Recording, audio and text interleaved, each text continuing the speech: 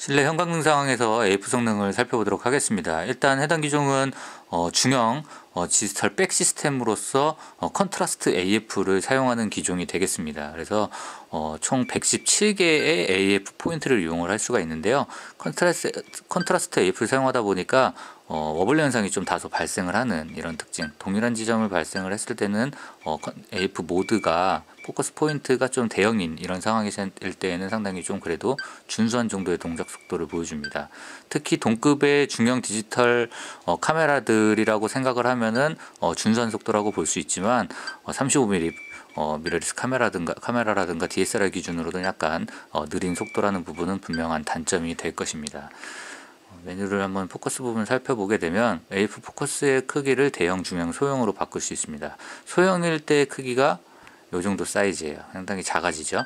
크기가 작아지는 만큼 117개 포인트를 이용할 수 있고요. AF 포인트의 이동은 이런 식으로 기본적으로 터치를 이용하는 방식이 되겠습니다. 네, 이 터치 별매의 컨트롤 그립이 이 부분 이제 있다라고 하면 여기 어, 조이스틱이 있거든요. 사방향 조이스틱을 이용해서 보다 더 빠르게 쾌적하게 이동을 시킬 수가 있고요. 이걸 클릭을 하게 되면 이렇게 바로 확대 모드로 돌아가는 이런 부분까지 지원이 되기 때문에 AF 포커스 포인트를 좀 빠르게 이동하는 것이 필요하신 분들은 별매의 컨트롤 그립을 사용하시는 것을 어, 것이 좋을 것 같습니다. AF 소형 상태에서 AF 성능도 한번 보시도록 하겠습니다. 네.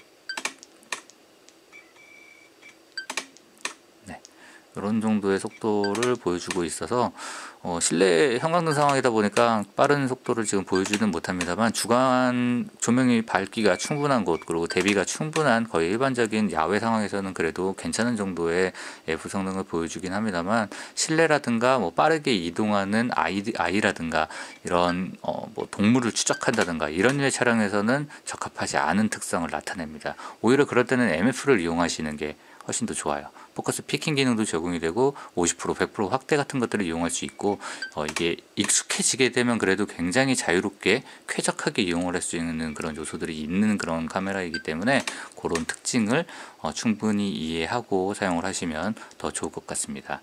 AF에서 이제 MF로 변경을 하게 되면 렌즈에 포커스 링을 통해서 어, 초점을 변경을 하실 수가 있는데 이렇게 보시다시피 이런 식으로 peaking 기능이 제공이 돼요. 그래서 peaking 기능을 통해서 어, 관련한 부가적인 기능들을 이용을 하시면 돼요.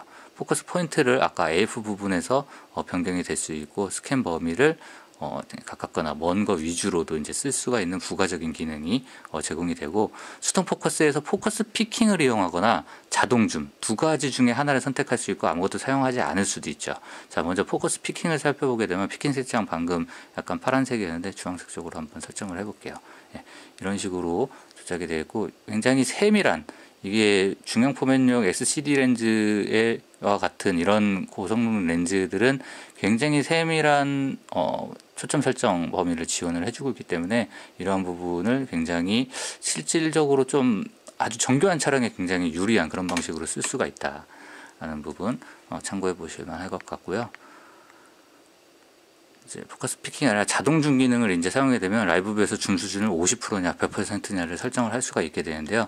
돌리게 되면 자동으로 이렇게 확대를 해주는 거죠. 그래서 더 정밀한 초점이 필요할 때 유리한 그러니까 빠른 어, 초점 설정일 때에는 포커스 피킹이 유리하고 정밀한 AF 설정을 필요로 할 때에는